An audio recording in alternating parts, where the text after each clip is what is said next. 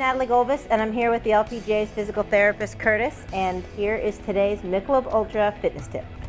One of my favorite fitness tips, and also a great tip for when you travel, is today's tip, which is drinking a lot of water. It's so important as an athlete to make sure that you stay hydrated, and when you travel, even more. I know that um, when I'm well hydrated, it helps me not feel as jet lagged, and I don't feel dehydrated when I get off the plane, and I don't get those headaches from when you when you fly. And I, my goal is to drink a, a full bottle of water every hour. But what do you recommend for people when they're when they're flying um, on how much water they should drink? No, that's actually a really good goal. Um, and what we say is that uh, if you're properly hydrated, you should be urinating about four to five times a day. And when you when you fly, you need to get a little bit extra water to make sure that happens. Absolutely. So certainly wouldn't hurt.